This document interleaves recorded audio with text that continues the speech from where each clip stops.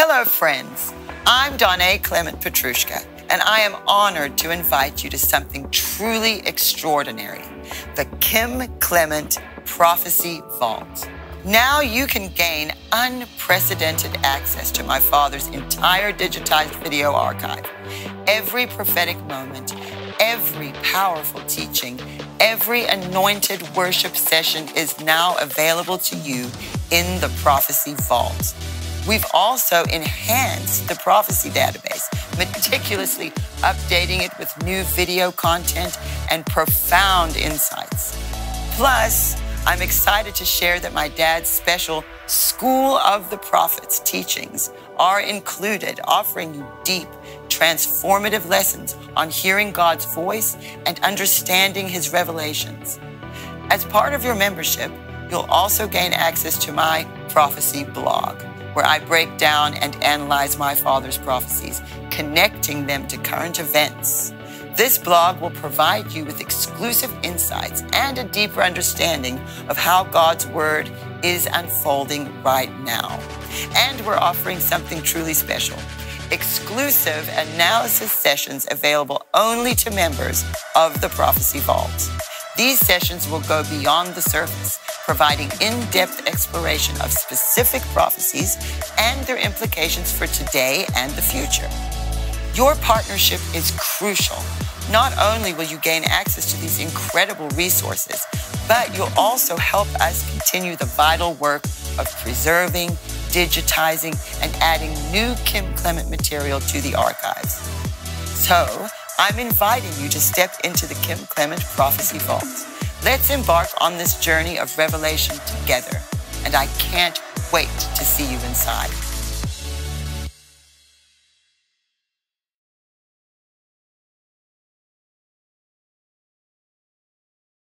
I think Charlie should do something on that bass. Do you think?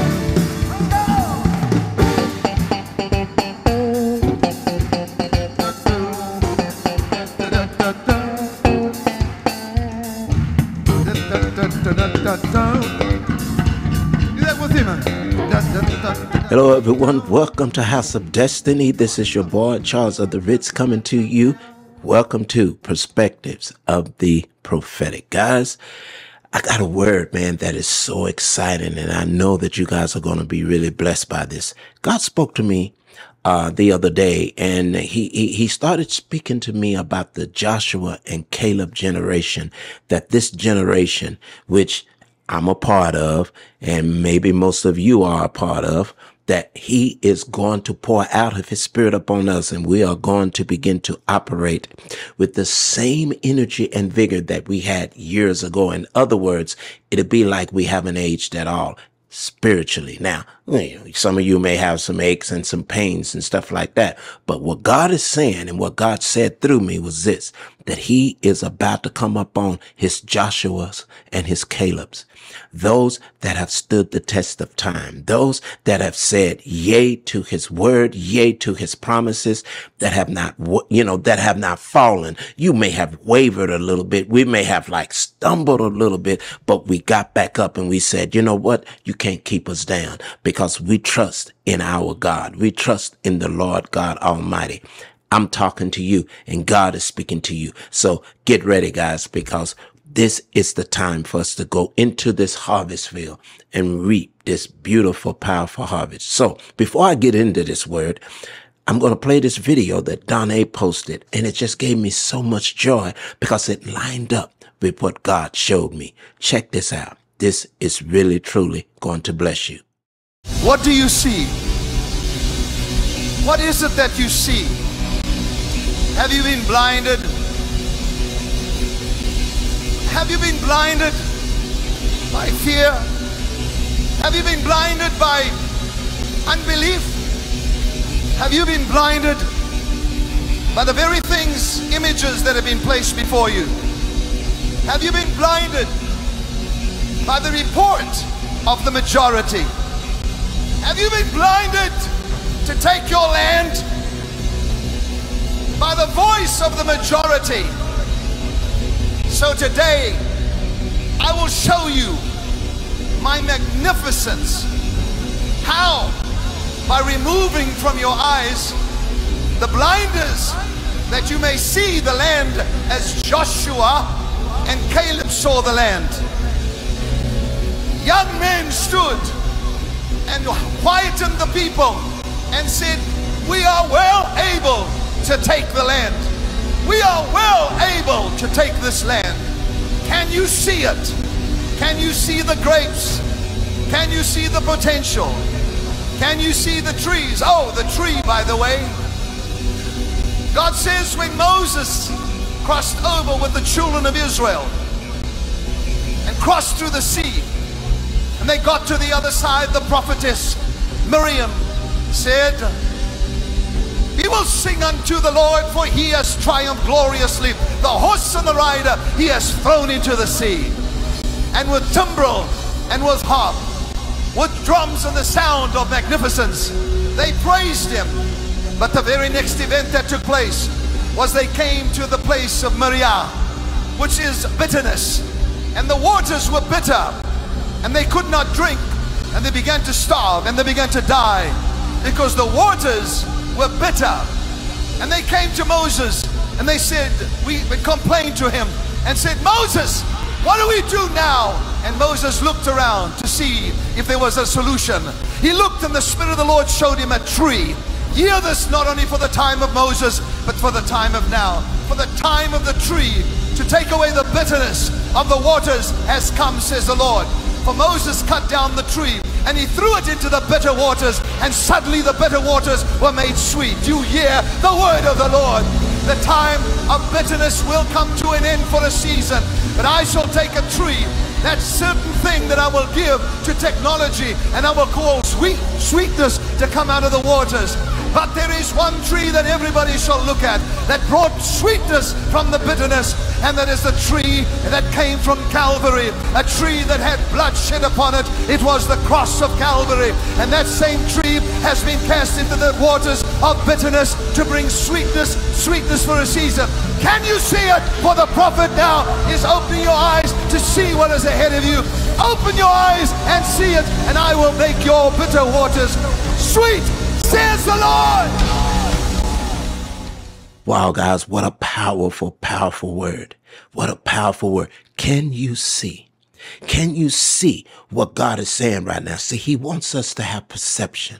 He wants us not to look at our situation or our circumstances and to allow those circumstances to have authority or to have a foothold in our lives. Because you see, we have been blinded. You see, the prognosticators, the prophets of Baal, the religious, the naysayers has, you know, they have been telling us what God isn't doing. They've been telling us that we should do this or we should do that. The religious has been saying, no, God is not speaking. God is not moving. God is not prophesying. God is not doing these things. But God said, can you see? Can you see that the things that I am doing, it is indeed taking place? He wants us to know this, guys. He says, are you blinded by them?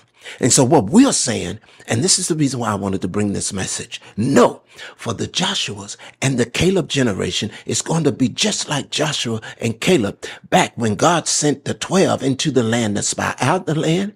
But 10 came back with a negative report. 10 came back saying, no, we can't do it because of this. No, we can't do it because of that. But two says, yes, we can.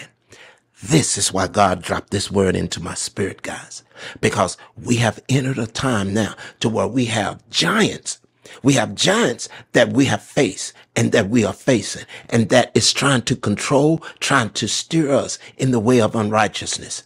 But God is saying, my Joshua's and my Caleb's, this generation will join forces with this younger generation and we will bring about a revolution, a revival, a breakthrough, however you want to call it, like the world has never seen. Because remember that word that Kim got back in 2013? He was taken to 2027 and he saw the old and the new, the young and the old coming together, creating a new sound.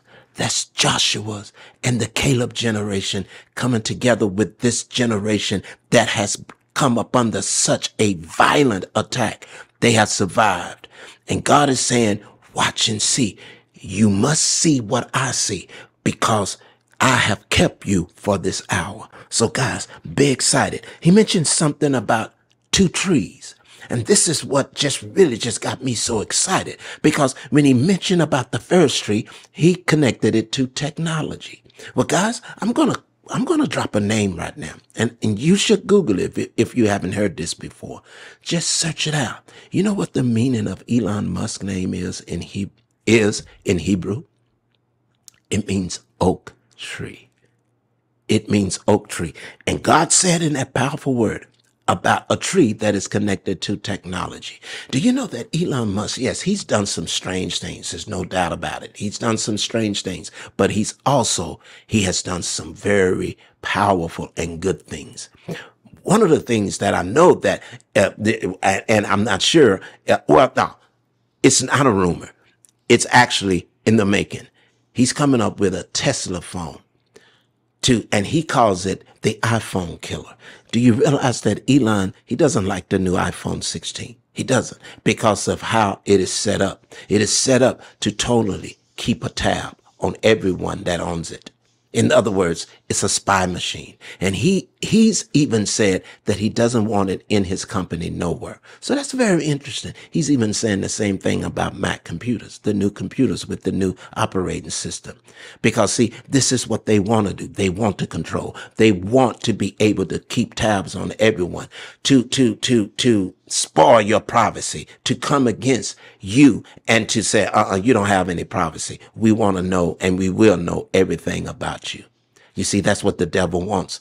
Elon said he doesn't like that. So he's coming up with a new phone. It's called the Tesla phone. He calls it the iPhone killer. Well, do you remember that powerful word that Prophet Kim got about he see the end, he see the day of the end of the iPhone.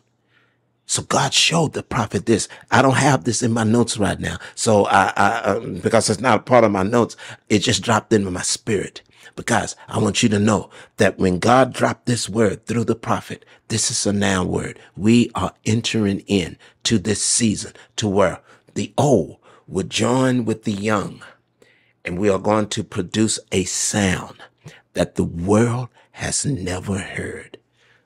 Us, Joshua and Caleb's, God is saying, be encouraged.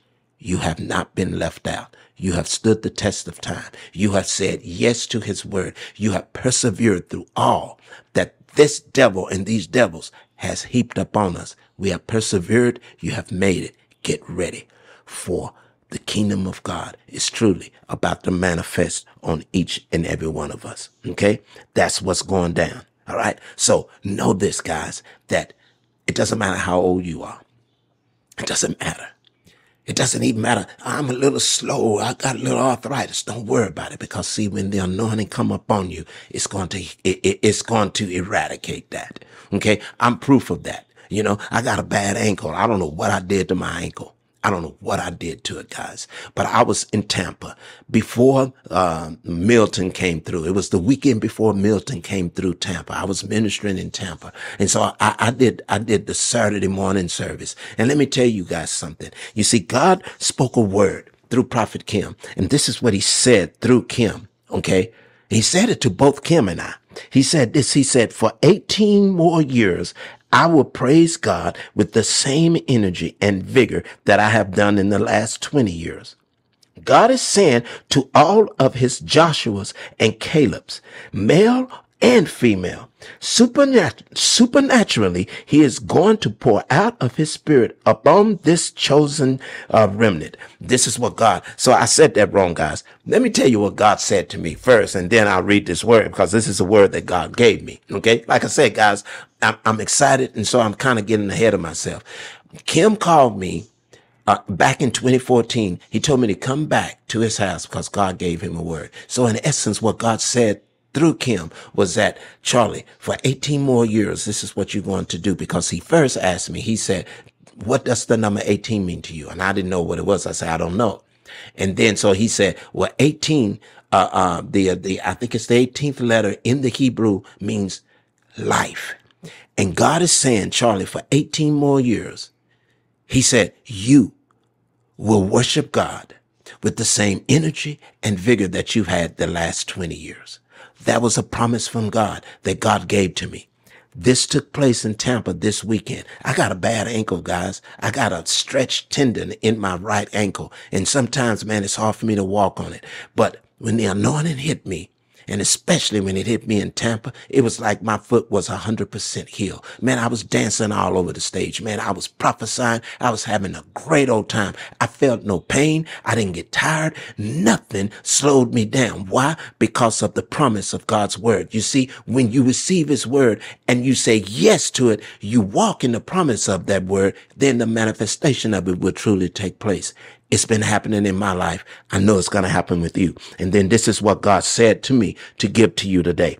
For 18 more years, I will praise God with the same energy and vigor that I have done the last 20 years. That's what I just told you, right? Well, God is saying to all of his Joshua's and Caleb's, male and female, supernaturally, he is going to pour out of his spirit upon this chosen remnant, talking about us the Joshua and the Caleb's. And we shall have supernatural youth.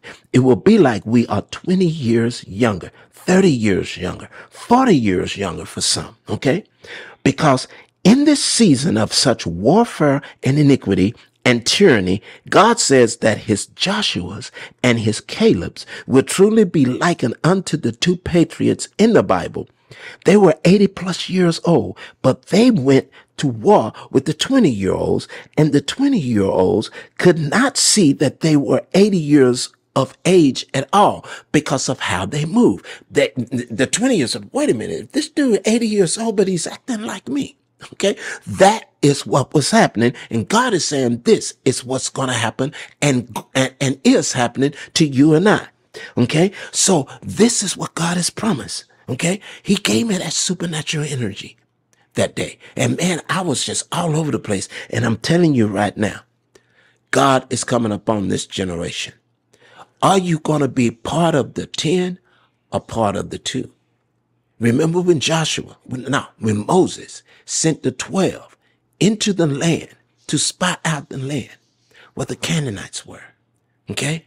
Let's go to, let's go to scripture and let's just look at it. All right. Let's go to Numbers. I'm reading out of the King James Version. Numbers 13. Okay. Verses 1 and 2. This is what it says.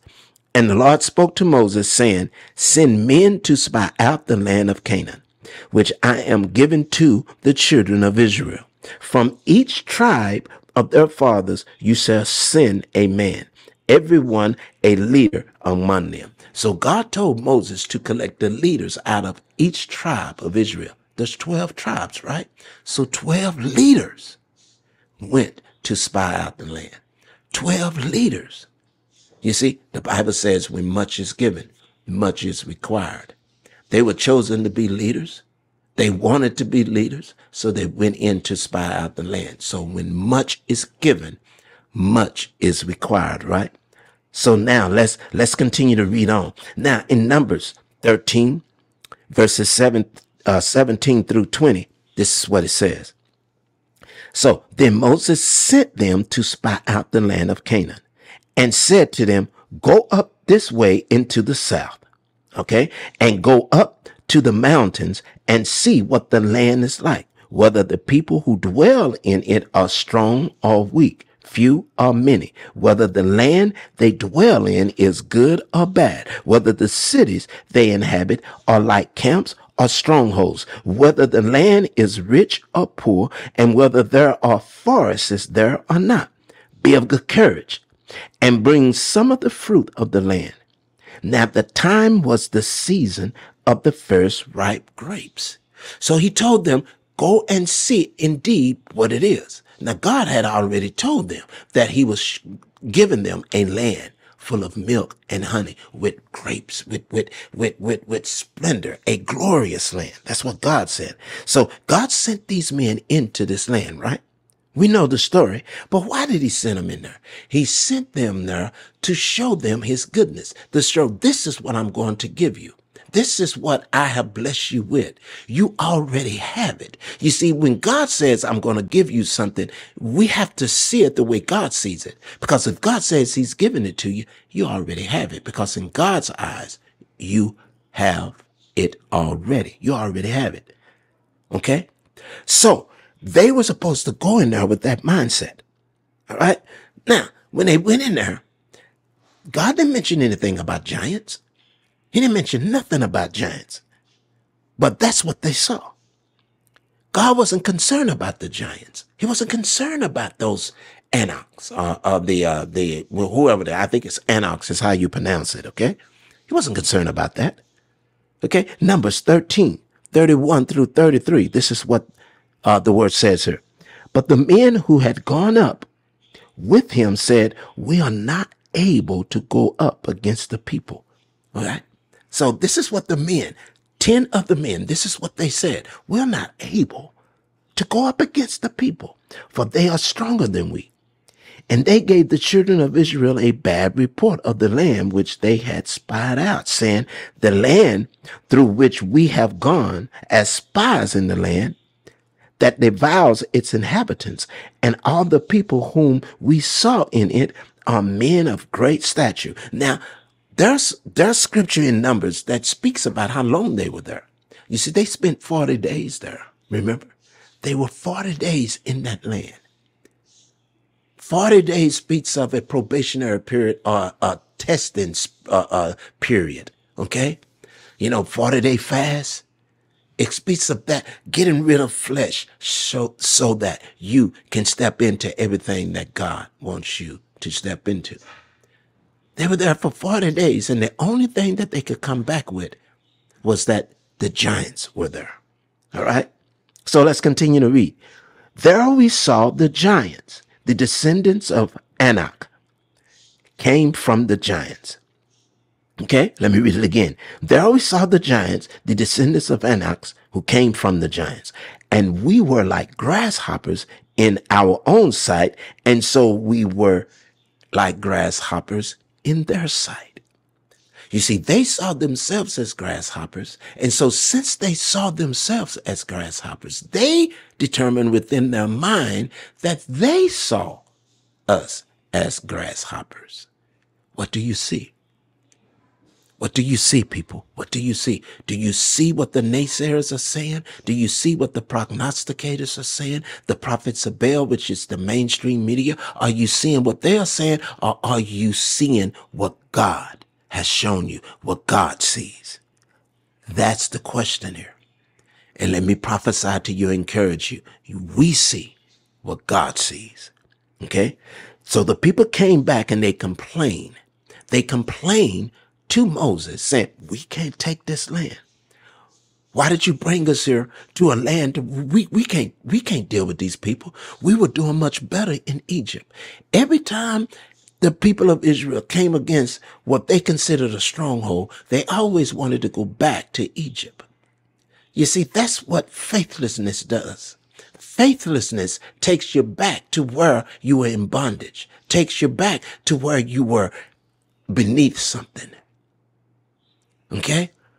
God, but faith rises you above it. It was faith that allowed Peter to be able to walk on the water until he began to look back. When he began to look around, he began to look back and he began to sink. You see, that's what God doesn't want us to do. All right. All right. So they begin to speak like this, but listen to what Joshua and Caleb said. Listen to what they said. Numbers 14, 6 through 10. And I'm going to end with this. But Joshua, the son of Nun, and Caleb, the son of Zephaniah, I can't pronounce these names, so excuse me, who were among those who had spied out the land, tore their clothes, and they spoke to all the congregation of the children of Israel, saying, The land we passed through to spy out is an exceedingly good land. If the Lord delights in us, then he will bring us into this land and give it to us, a land which flows with milk and honey.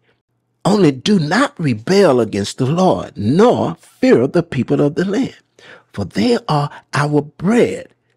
Their protection has departed. Listen to their vernacular.